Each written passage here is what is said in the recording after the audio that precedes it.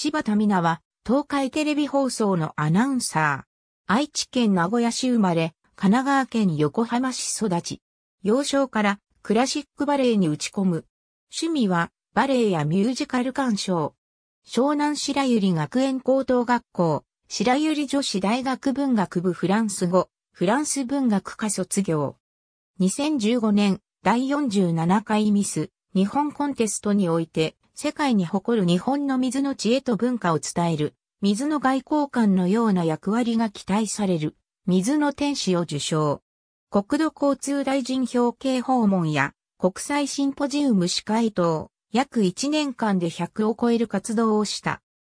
フジテレビのアナウンススクールに通い、2016年第30期 BS 富士学生キャスターに選抜。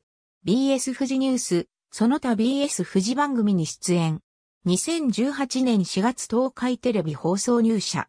研修期間を経て2018年8月29日の東海テレニュースでデビュー。情報、報道、スポーツ、ナレーションと様々な番組を担当。2019年には東海テレビスイッチの企画でみその座で上演された西川流名古屋踊りに出演、日本舞踊に初挑戦。また、劇団四季のパリのアメリカ人主演俳優と名古屋式劇場で共演し、特技のクラシックバレエを披露した。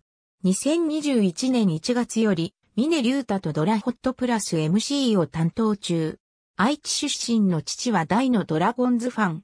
第37回 FNS アナウンス大賞新人部門1位受賞。ありがとうございます。